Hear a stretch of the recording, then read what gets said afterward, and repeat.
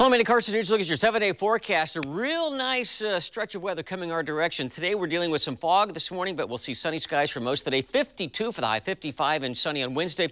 Uh, mostly sunny, high thin clouds uh, moving in Thursday and Friday, but a little warm up to 58 Thursday, 56 on Friday. Clouds increase Saturday, giving us a chance of rain mainly in the evening hours. High 50, occasional showers Sunday, Monday, with highs going 48 and 45.